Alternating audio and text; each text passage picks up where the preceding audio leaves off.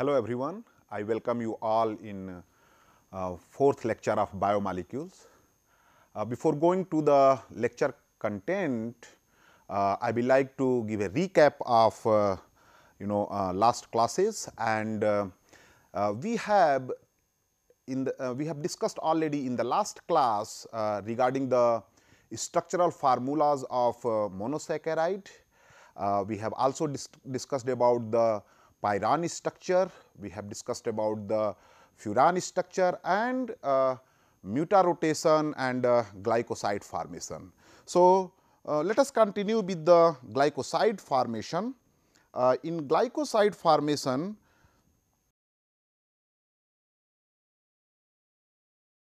we discussed about the treatment of alpha D glucose with uh, methanol in presence of HCl. So, as we know alpha D glucose has a polyhydroxy group in its framework in presence of methanol and hydrochloric acid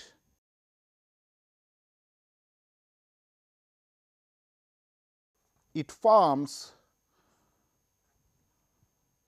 two glucosides methyl alpha D glucopyranoside and methyl beta D glucopyranoside. So, CH3 HCl and what happens basically one molecule of water come out of from the molecule to make it more clear I will use the color code while making the structure so that you can understand the changes happening in the you know sugar moiety. So, this is the main scaffold and changes happening here at the anomeric position and it forms methyl alpha D glucopyranoside methyl alpha D glucopyranoside. Side its melting point is 165 degree centigrade and specific rotation which is denoted by alpha D 25 is plus 158 the other product is methyl beta D-glucopyranoside, which is very much similar to the alpha D-glucopyranoside. However, methoxy group here attached with the anomeric carbon at the you know equatorial position. So, again I will use color code to make it more clear, here it becomes this is methyl beta D glucopyranoside.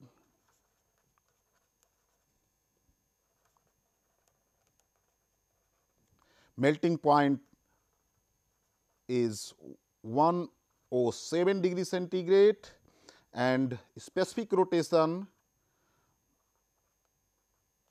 is negative 33.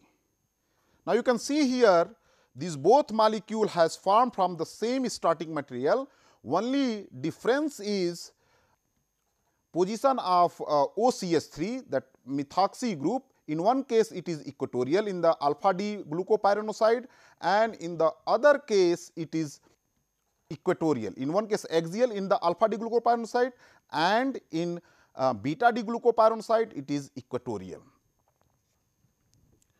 Carbohydrate uh, generally these are called acetals and uh, carbohydrate acetals are generally uh, called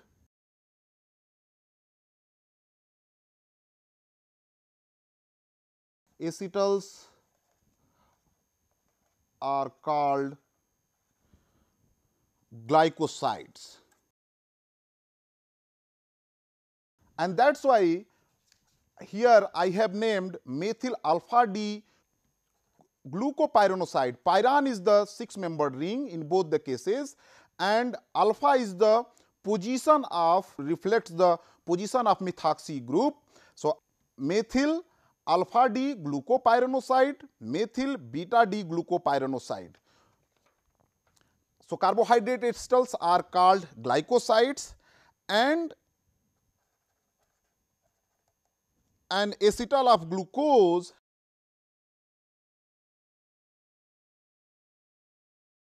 acetal of glucose is called a glucoside. Glycoside is the general terminology and for the glucose it is glucoside. Glucoside. Similarly, acetals of mannose are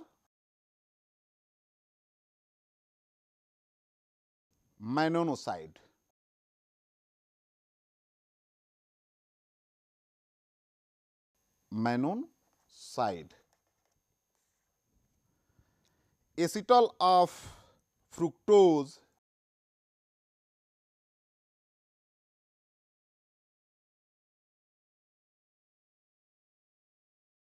fructose are fructoside.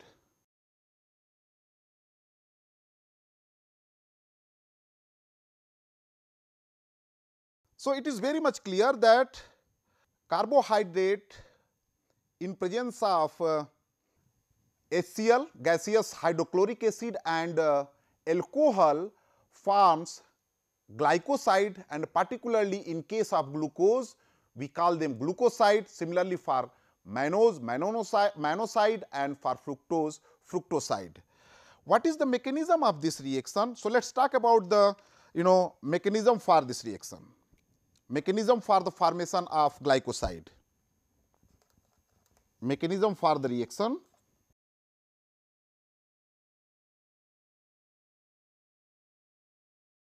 what happens in presence of acid. So, here first I will draw glucose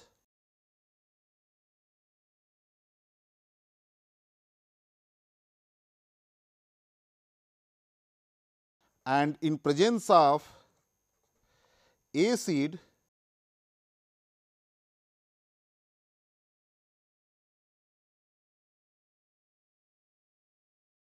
So, here I am adding this reaction is reversible here you can see this reaction is reversible. So, in presence of acid what happens that it takes proton from the acid and it forms protonated species. So, I will keep the whole structure same, but the hydroxyl of anomeric position will get protonated and that will get converted to OH2. Now, it will have positive charge.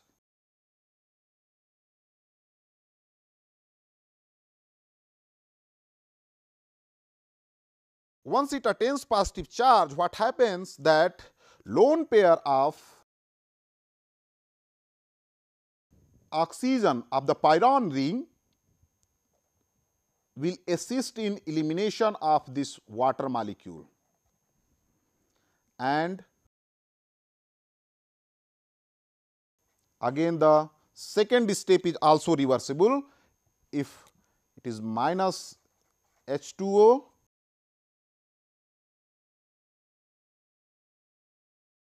it will give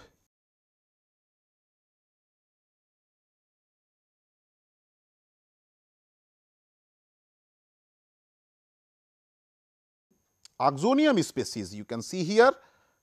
Now, we get the oxonium species.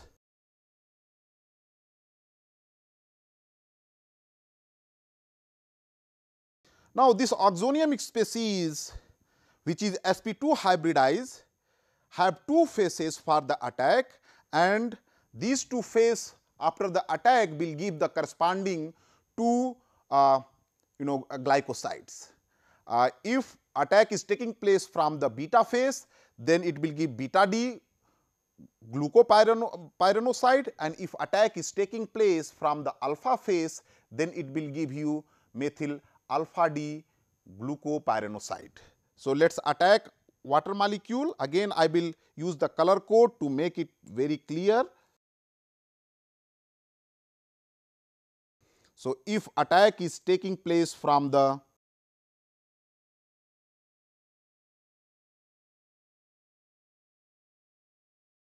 from the top face and if attack is taking place from the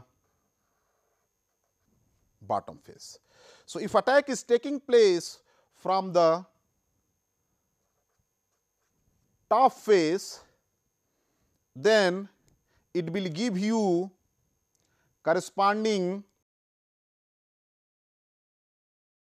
beta D glucopyranoside. Again this one is reaction, this reaction is reversible. So, let me draw the structure of the molecule.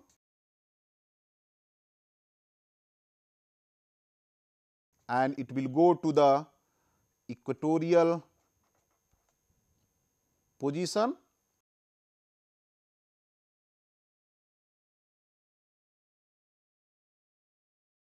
Now, this sp2 hybridize carbon becomes sp3 hybridized after the attack.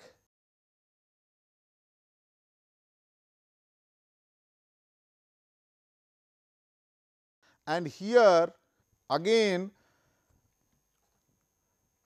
acid counter uh, base abstract this proton. And leads to the removal of H A with the corresponding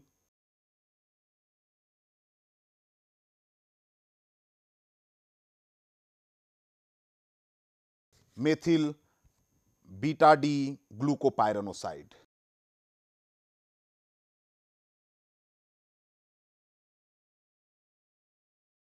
So, one thing is very clear that the structure of product the final product is completely dependent on that you know at what phase on this oxonium species that oxonium intermediate alcohol is attacking so, this becomes methyl beta D glucopyranoside.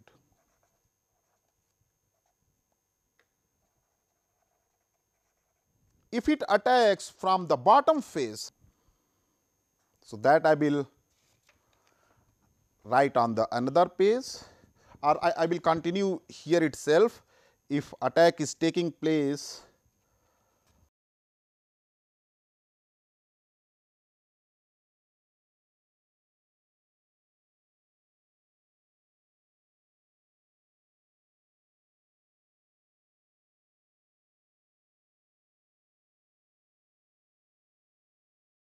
So, here you can see that I have put axial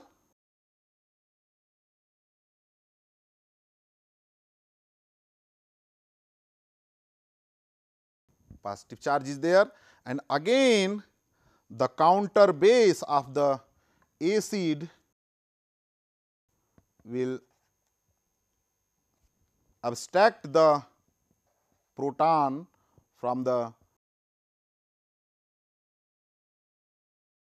corresponding compound minus H A will lead to the methyl alpha D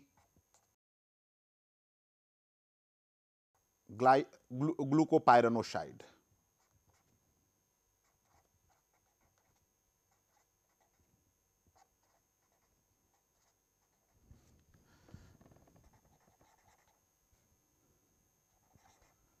Methyl alpha D glucopyranoside.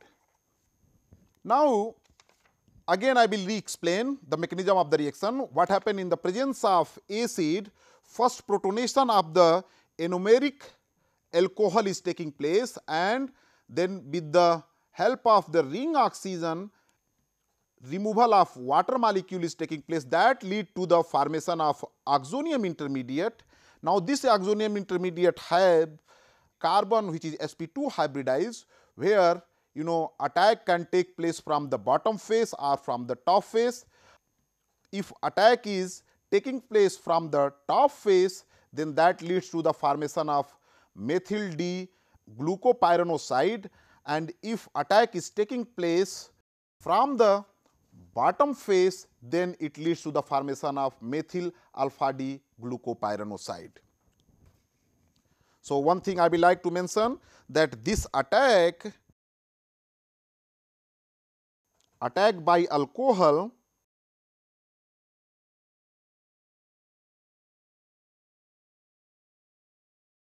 oxygen occurs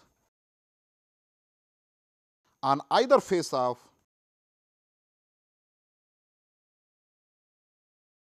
resonance stabilized carbocation.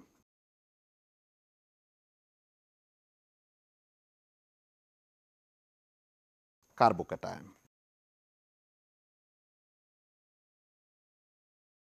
Now, glycosides are you can see here these all reactions are in equilibrium they are all reversible here that attack of acid which leads to the removal of water molecule from the you know um, acetal and then further attack by the alcohol.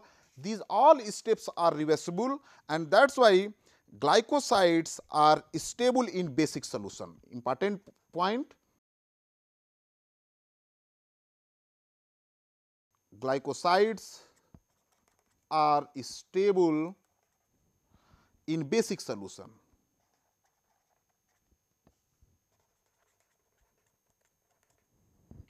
Because they are acetal and if we have acidic solution glycoside under can undergo hydrolysis to produce the corresponding sugar and alcohol as a side product.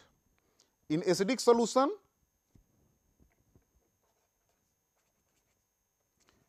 acidic solution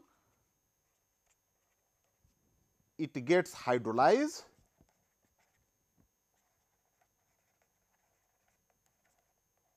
gets hydrolyzed to produce alcohol and sugar.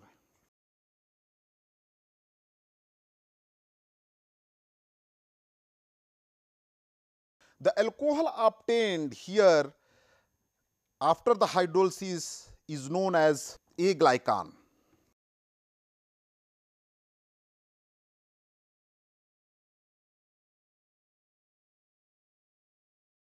The alcohol obtained by hydrolysis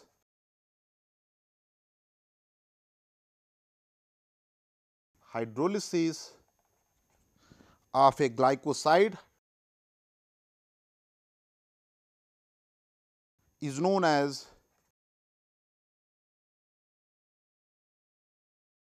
aglycone.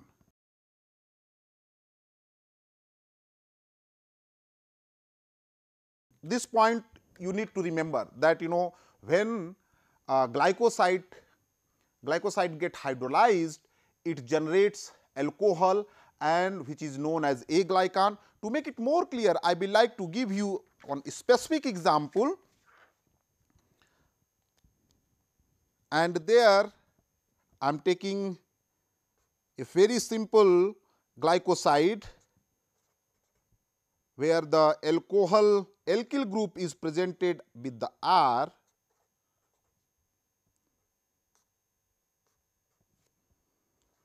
So, here I am not expressing the OR substituents uh, you know uh, stereochemistry. Now, this gets hydrolyzed in the presence of acid and it will generate the sugar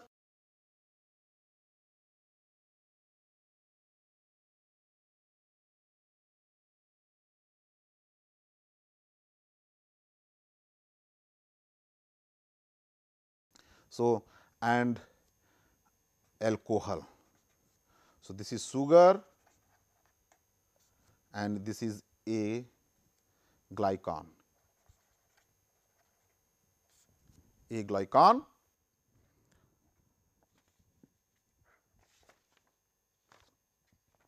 Now, what is the mechanism for this aglycone formation? If we go to the reverse uh, pathway, what just now I discussed about the glycoside formation, if we do the reverse uh, uh, chemistry, then we can lead to the you know glucose molecule if we start with the you know uh, uh glucoside uh, and as well as alcohol. So, let us discuss the mechanism of uh, this hydrolysis.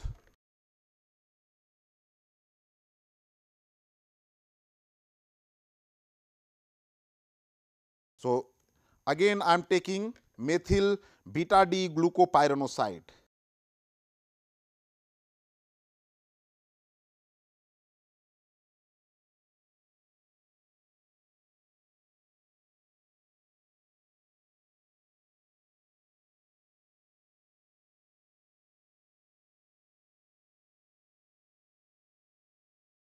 Methyl beta D glucopyranoside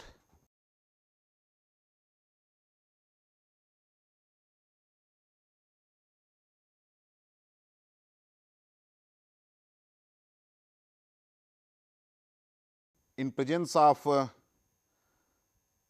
acid here I have taken you know hydronium hydronium ion that is you know uh, protonated water molecule as acid. So, it will take the proton and it will form the protonated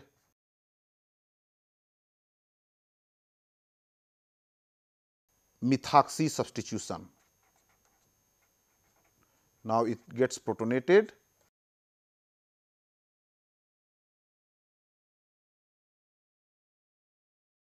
Once it is protonated again the ring oxygen will help in elimination of this you know protonated methoxy group in the form of methanol.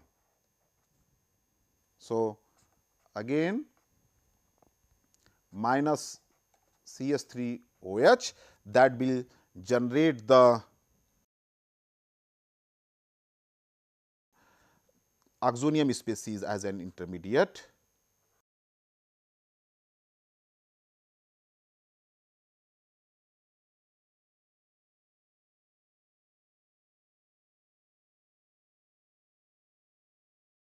Now, again two possibility exist over here at this sp2 hybridized carbon. One that uh, attack can take place from the top face and other attack can take place from the bottom face of, uh, on this sp2 hybridized you know uh, carbon atom. So, again let me write water molecule which is available there in the reaction mixture from the top face this is A and the other possibility if it attacks from the bottom face. So, here also attack by water occurs on either face of the resonance stabilized carbocation.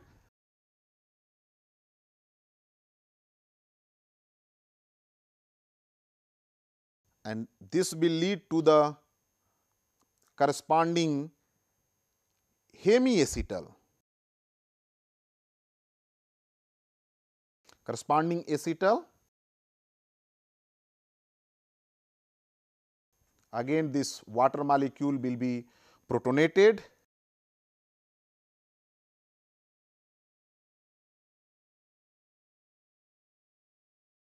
and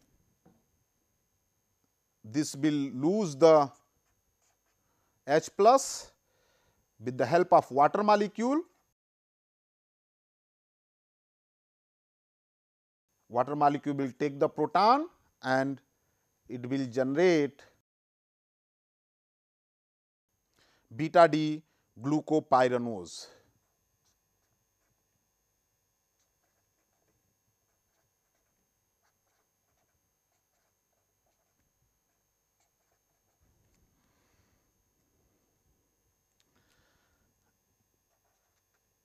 beta D glucopyranose.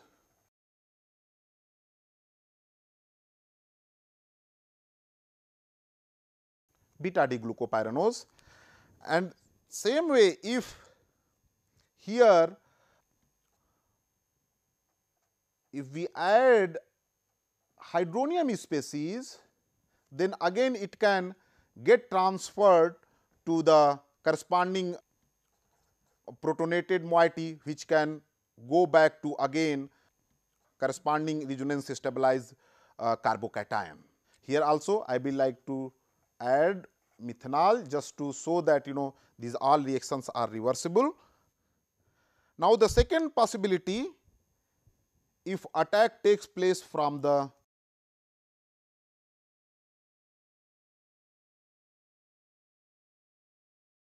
from the bottom face that will lead to the alpha D glucopyranose.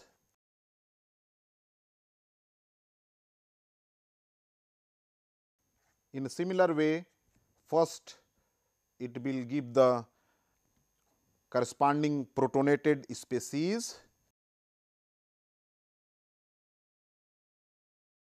And that will further get processed for the removal of H plus to give the you know alpha D glucopyranose. This alpha and beta this represents the orientation of hydroxyl group at the anomeric position. This has to be you know remember every time when I pronounce this symbol. So, this is uh,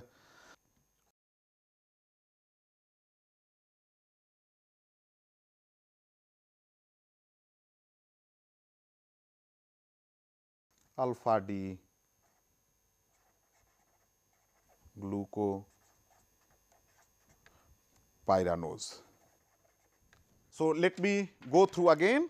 So, we started with the methyl D glucopyranoside in presence of hydronium species it gets protonated that step is also reversible and then uh, with the you know um, lone pair uh, push from the ring oxygen it liberates the methanol and generates the resonance stabilized carbocation which can be attacked from the top face or from the bottom face. If attack takes place for the water molecule from the top face that generates the beta D glucopyranose and if attack takes place from the bottom face then it generates uh, alpha D glucopyranose the hydrolyzed sugar moiety. As I discussed the concept of aglycone and alcohol um, by the hydrolysis of uh, uh, glycoside.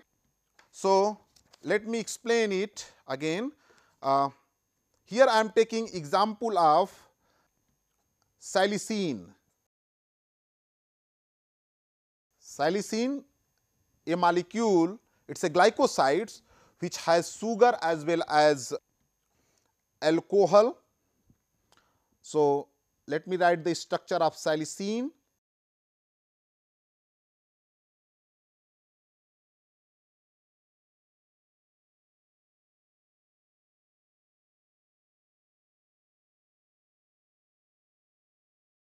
So, this is the sugar part and now I will use color code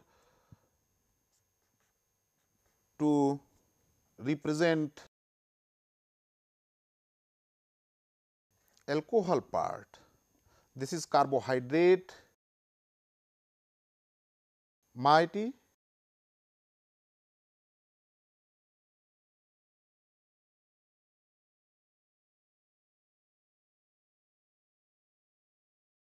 and this is aglycone moiety.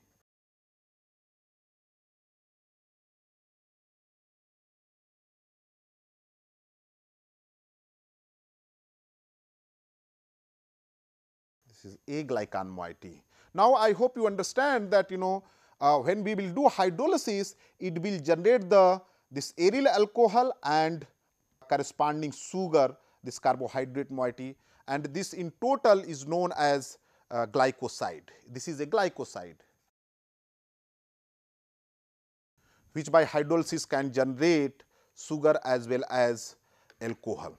Now, I will like to discuss about the anomeric effect. What is the anomeric effect? Uh, so, anomeric effect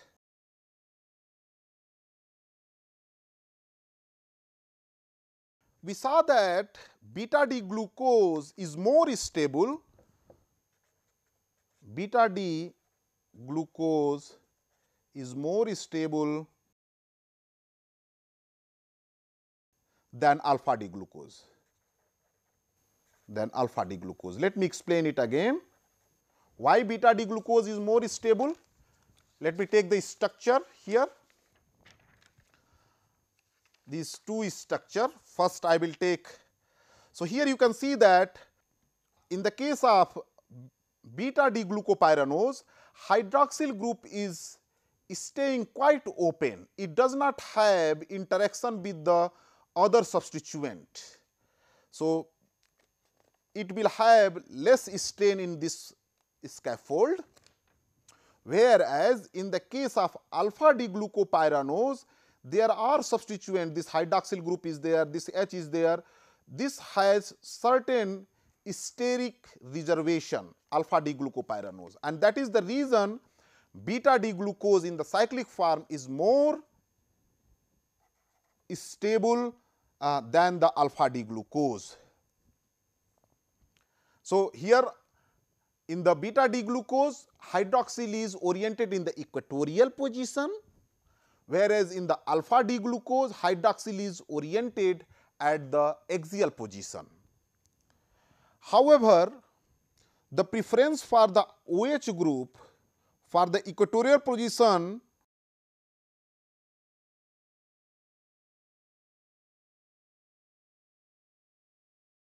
equatorial position is not as large as expected, as large as expected. Why is it so?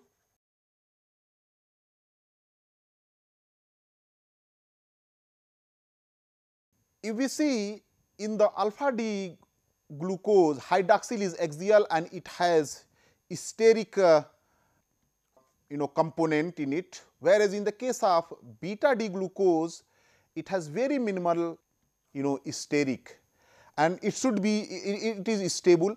So, population of beta D glucose should be very high, but in the reality relative amounts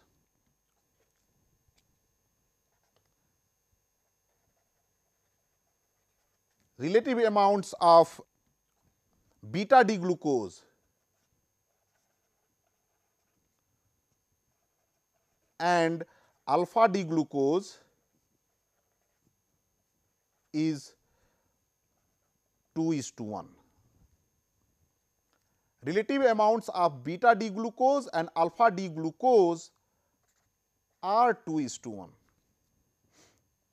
Why, why so much you know um, still preference for the alpha D glucose?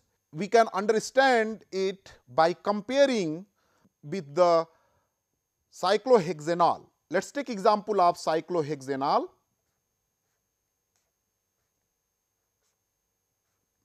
Cyclohexanol here if we take uh,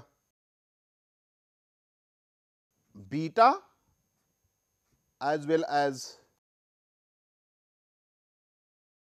alpha cyclohexanol. In this case relative amounts for the equatorial and axial is 5.4 is to 1. Here we have huge difference. You can see that in the equatorial it is 5.4 and here is to 1 that cyclohexanol mixture has this is the ratio.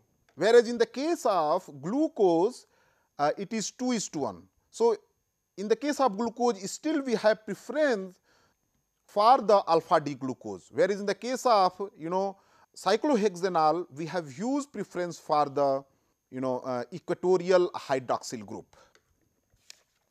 Therefore, there must be a factor which is governing for the alpha uh, glucose formation. What is that factor? Let us discuss about that. When glucose reacts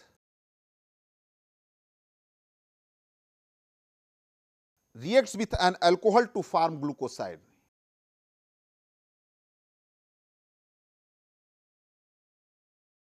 Alcohol to form uh, glucoside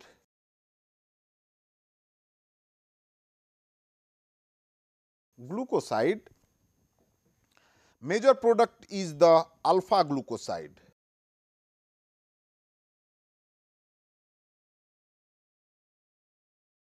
major product is the alpha glucoside alpha glucoside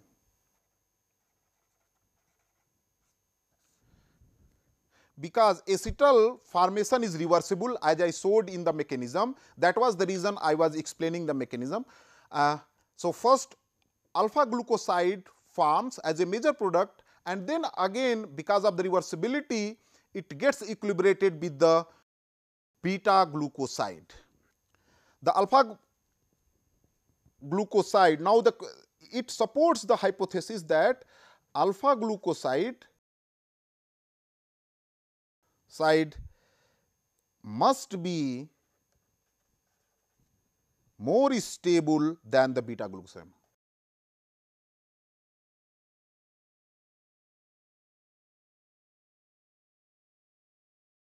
than the beta glucoside. The preference of certain substituents bonded to the anomeric carbon for the axial position is called now to explain this phenomena I am introducing this concept. So, uh, the preference of certain substituents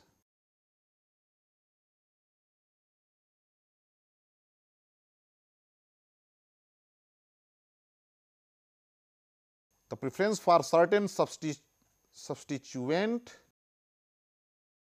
substituents bonded to the anomeric carbon.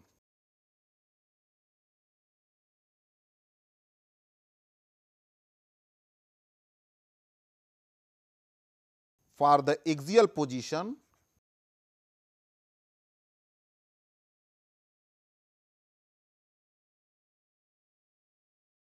is called the anomeric effect. Now, let me explain it. Anomeric effect. I have introduced the terminology of anomeric effect. What is this anomeric effect? Because that, that only can suggest that why so much preference is there for the alpha D glucose.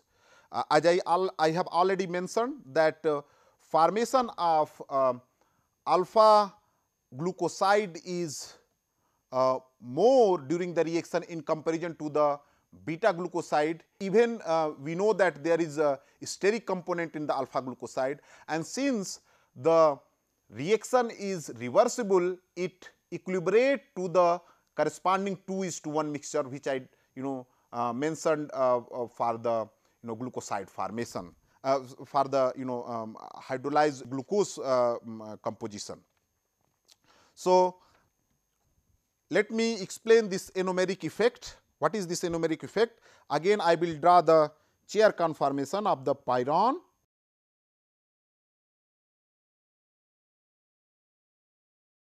Here if I keep a substituent at the axial position and let me draw another chair conformation where I will keep the substituent at the anomeric carbon at the equatorial position. In the first case oxygen is having two orbitals for the lone pair axial these are the axial lone pair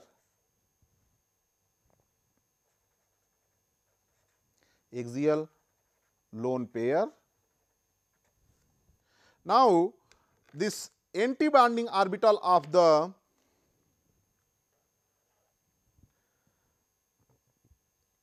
this axial substituent which is empty is parallel with the axial lone pair of the pyran oxygen. Similarly, I will draw orbitals of the equatorial attached structure. Now, in the equatorial attached structure, anti-bonding empty orbital is not parallel to the lone pair orbitals. Now, what is responsible for the anomeric effect? If the substituent is axial, one of the ring oxygen lone pair is parallel to the anti-bonding orbital of this you know uh, sigma bond anti-bonding orbital CJ bond the molecule then can be stabilized by hyperconjugation. Whereas in the equatorial attached structure the anti-bonding sigma star orbital which is empty is not you know parallel to the lone pair orbitals and hence the electron cannot be transferred through the hyperconjugation. This phenomena which strengthens the formation of uh, you know uh, alpha uh, glucoside is called like you know uh, anomeric effect which is not possible in the equatorial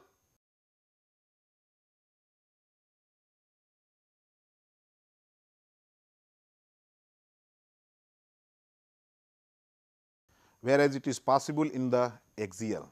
Now, I will talk about the reducing and uh, non-reducing sugars. Reducing and non-reducing sugar.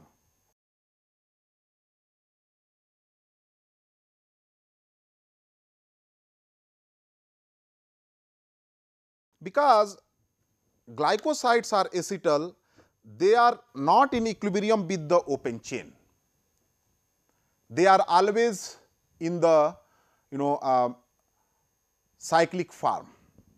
Without being in equilibrium with a compound that has a uh, carbonyl group, they can be oxidized by the uh, Tollens reagent and glycoside therefore are non-reducing sugars.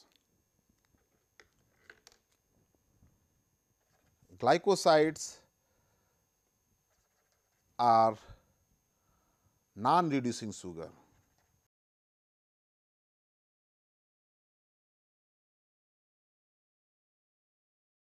Glycosides are non-reducing sugar. Why is it so? As I mentioned that glycosides are acetal, they are not in equilibrium with the open chain aldehyde or ketone in aqueous solution and without being in equilibrium with a compound that has a carbonyl group they cannot be oxidized by Tollens reagent. Glycosides therefore are not non-reducing sugars they cannot be reduce the oxidizing reagent. Hemiacetal on the other hand are in equilibrium.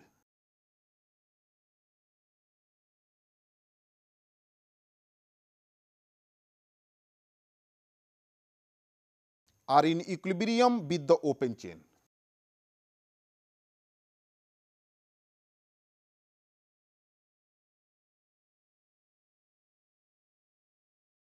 Equilibrium with the open chain.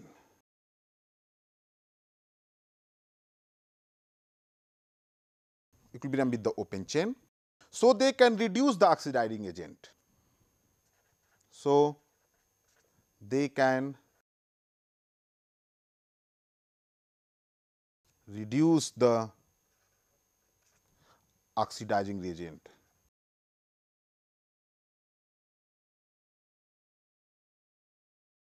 reagent and therefore, is classified as reducing sugar.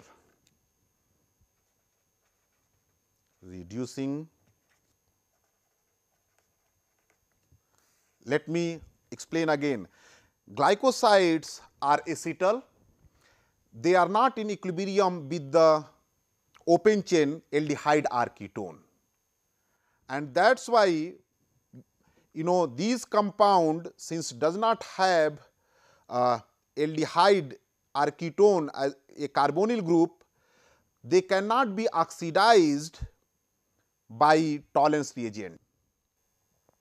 And hence they are called non reducing sugar whereas in the case of hemiacetal which can easily equilibrate into the open chain aldehyde or ketone form, they can be you know oxidized by uh, Tollens reagent. And hence they are called the reducing sugar. Now, an acetal is a non reducing sugar.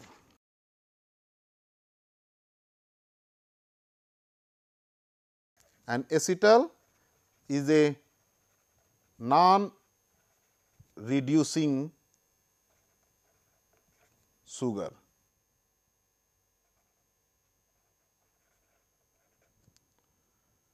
Again point to remember is glycosides are non reducing sugar because they cannot convert into the you know open chain uh, compound which has carbonyl in its framework. Hence, they are called non-reducing sugar, whereas hemiacetal which can easily get transformed to the open chain compound which has carbonyl in its framework either aldehyde or ketonic group and then they can get oxidized by the Tollens reagent and that is why they are called reducing sugar. Now, to make you understand this in a better way, I will like to uh, give you an example from uh, our day to day life that you know we, we, we all are hearing about the you know diabetes, you know it is a lifestyle disease. And uh, you know uh, here it has become very common. You know in every family we, we, we are uh, learning that you know X is getting uh, diabetes in very early age, uh, which was not earlier uh, so much. I believe that you know at some point our lifestyle is you know um, getting responsible uh, for this so, such early detection of uh, uh, diabetes. For the diabetes test, you know we generally measure the blood sugar level in our body. So, how, how does it happen uh, basically? Let us discuss about that. We can understand this you know uh, in a more elaborated way. So, measuring the blood glucose level in diabetes.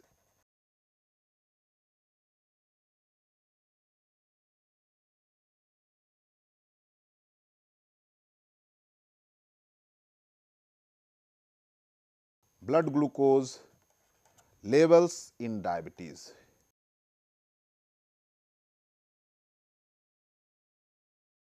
How do we measure the blood glucose level? The objective here is just to get aware with the reduce again with the reducing sugar and the non reducing sugar. I just now discussed that you know what is reducing sugar and what is non reducing sugar. Same concept again I will bring here. So, glucose in the blood stream reacts with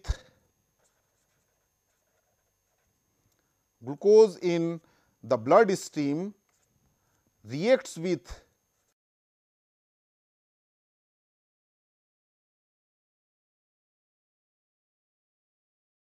reacts with an amine group.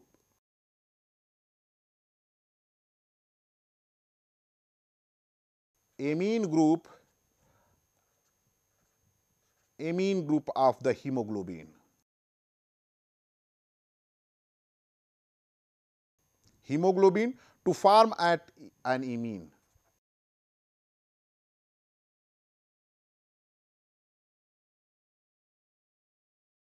It is a simple uh, reaction of carbonyl with the amine group and that imine subsequently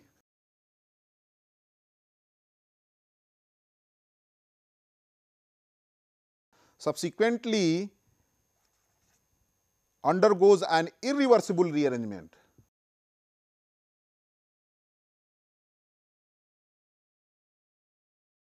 undergoes an irreversible rearrangement.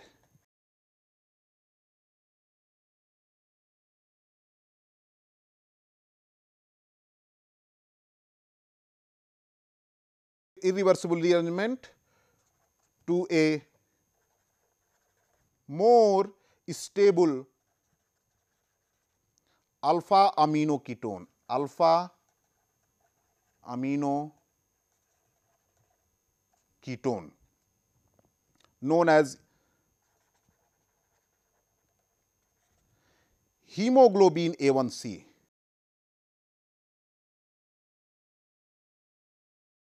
Hemoglobin A1C. Now, I will write it in the equation form same reaction. So, here I am writing open chain form of glucose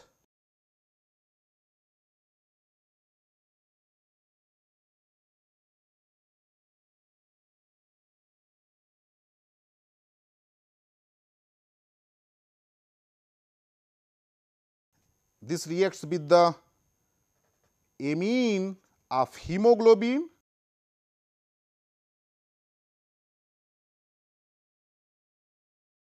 in presence of trace acid as for the here uh, water molecule is coming out. So, trace acid is already there in the biological system.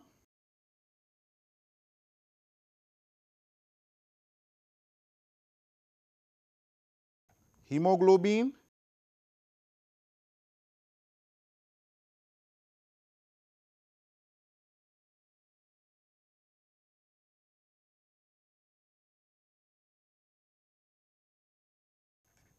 Now, this will go for the rearrangement.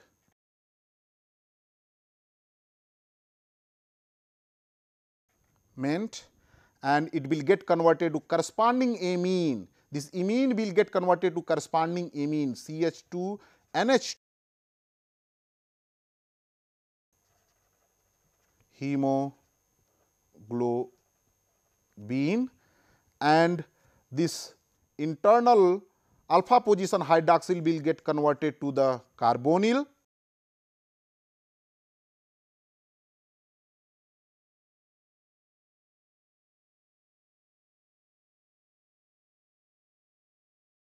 This molecule is known as hemoglobin A1C. Thus, measuring the hemoglobin A1C label is a way to determine whether the blood glucose level of diabetic patient is being controlled or not. So, whatever because it, it will it will get it will uh, form from the you know glucose available in the blood stream by this reaction that hemoglobin amine will react and it will form the hemoglobin A1C. This one label determines that you know how much sugar is available there in the blood glucose. And by knowing that we can easily control the, our diet and that way we can know that you know how much amount is needed. If you are we are taking excessive intake then we have to cut down. So, uh, this this is our uh, in day to day life where like you know basically what is happening here hydroxyl is getting oxidized through this rearrangement to the corresponding carbonyl uh, to form the hemoglobin A1C. This is the reaction taking place uh, while measuring the blood glucose level in a, a diabetic patient. Uh, now, I will stop here. So, um, today we discussed about the basically uh, various uh, type of uh, reactions. First, we talked about the uh, formation of you know glycoside and then we discussed its mechanism. Then again we discussed about the you know reducing and uh, non-reducing sugars and then we talked about the uh, how uh, one can you know measure the level of glucose in the blood stream by reacting it with the uh, hemoglobin amine uh, which get by the rearrangement uh, gets converted to the corresponding amino ketone. And we generally uh, while measuring blood glucose level we measure that uh, level in the diabetic patient's body. Okay. Thank you very much. We will again continue with the uh, next